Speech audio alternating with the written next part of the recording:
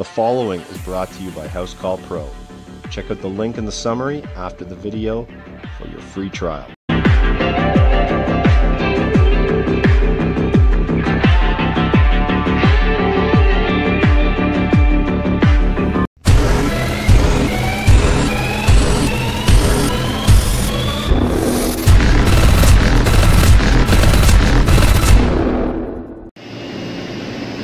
Okay, so this is the Redfish iDVM 550 multimeter. Now, this meter has a lot of features, okay?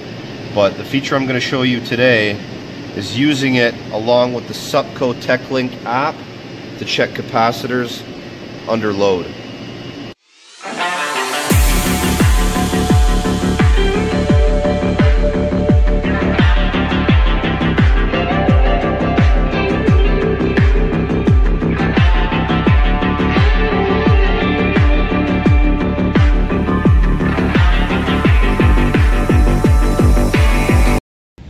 Okay, the very first thing we have to do is download the Supco TechLink app. Now, that's what the app looks like here on the home screen. Now, in order to check run capacitors under load, we have to have the meter set to watts. Okay, and there's also a backlight on this meter we can turn on so we can see the screen a little bit better. So once we have that downloaded and we're set to watts, we're gonna go into the test menu and we're gonna choose capacitor under load. And we're going to click on the microfarad and this is a 5 microfarad. We're going to choose that. And now we have our scale. We have the microfarad in the middle low high and the range that we should be in. So we're going to go ahead and check a couple of capacitors under load with this meter using the app.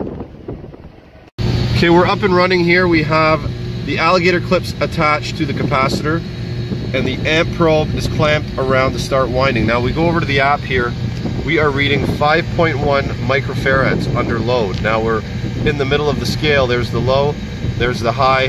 This is a plus or minus 6% capacitor, so we are within range. Very, very cool feature of this meter. This is the Redfish. Okay, it's the iDVM 550. So this meter is packed with features. It's also a non-contact voltage tester.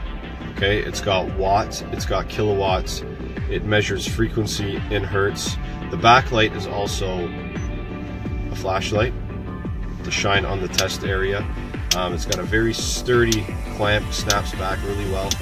Um, rubber casing around it here to keep it protected. It's got a bunch of cool features. The checking capacitors under load is just one of them that I was testing out today. Um, but I've enjoyed it so far, guys. It's the Redfish i DVM 550. Happy to try.